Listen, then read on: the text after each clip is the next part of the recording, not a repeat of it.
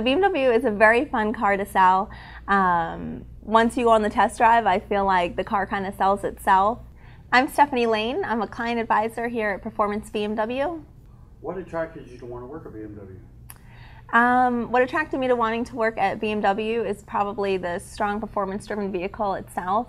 Um, but what really attracted me to Performance BMW would be the focus on customer service. A lot of our customers come in kind of having an idea, knowing what they want, but once they come in and we go over all the different options that we have, the different packages that we provide, um, we kind of help get them to the right decision together so that they have the right vehicle one thing that we really focus on is the customer service aspect.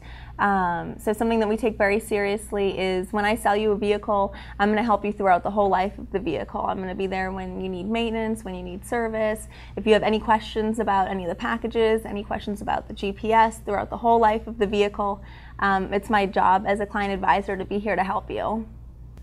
What makes you go home with a smile on your face? Um, what makes me go home with a smile on my face is knowing that I helped a customer from the start to finish.